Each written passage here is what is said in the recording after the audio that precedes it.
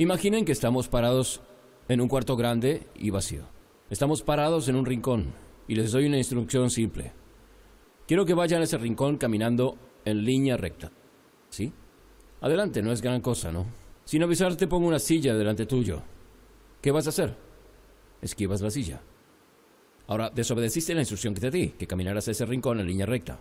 Pero eso es lo que hacen los seres humanos. Cuando nos dan un destino claro, usamos nuestra creatividad y sentido de la innovación y nuestra capacidad de resolver problemas para superar obstáculos y llegar al destino. En otras palabras, el destino es más importante que el camino, ¿verdad? Somos flexibles con el camino. Estamos obsesionados con el destino, de nuevo. Estamos parados juntos en el rincón y les doy una instrucción simple. Camina a algún lado de esta habitación en línea recta. Tú me dices, ¿dónde quieres que vaya? Y yo, no sé, eres inteligente, lo resolverás. Camina en línea recta. Entonces eliges un punto y empiezas a caminar. Y sin avisarte pongo una silla delante tuyo. ¿Y qué haces? Te detienes de golpe. Y te pregunto, ¿por qué paraste? Pusiste una silla delante mío. O doblarás de golpe e irás en una dirección nueva. ¿Sí? Ese es el problema, es el mismo obstáculo. La diferencia es que cuando tienes un destino claro, los obstáculos se vuelven fáciles de superar. Cuando no tienes un destino claro, dejas de caminar inmediatamente. En nuestras empresas contamos los pasos que damos en un camino, pero nunca miramos el destino, ¿no? Una empresa dice, ganamos un millón de dólares este año y solo teníamos planeado ganar 800 mil. Dimos 10 pasos, pero solamente pensaban dar 8.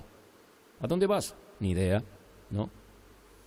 Contamos los pasos. Entonces el punto es que la gente quiere sentir que el esfuerzo que está haciendo le lleva a algún lugar.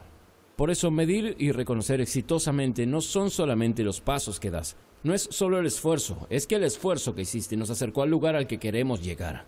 Y ese lugar debería ser un ideal loco. Mi ideal es vivir en un mundo donde la gran mayoría de las personas se despierte cada mañana inspirada para ir al trabajo y satisfecha con lo que hace. Y las pocas medidas que uso son si el libro se vende, y de hecho la gente me pregunta cuánto se ha vendido y no tengo idea. Nunca le he preguntado al editor porque no me importa. Realmente no me importa cuánto he vendido. Lo que sí me importa son las valoraciones de Amazon y que estén estables o subiendo y no cayéndose.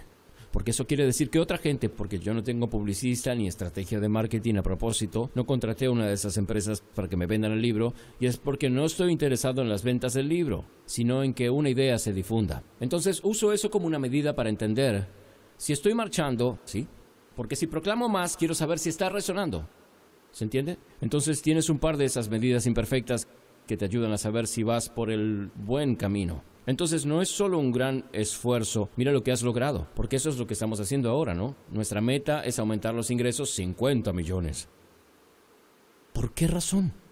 ¿Está bien? Tenemos que conocer el destino y luego podemos decir, increíble, nos acercaste mucho. Y si doblamos para la derecha es porque estamos superando un obstáculo. Si no doblábamos para la derecha, quedábamos estancados para siempre. Gracias, ¿verdad? Porque no son siempre líneas rectas. No siempre son líneas rectas. Pero es una dirección. Ella está sacando el bastón.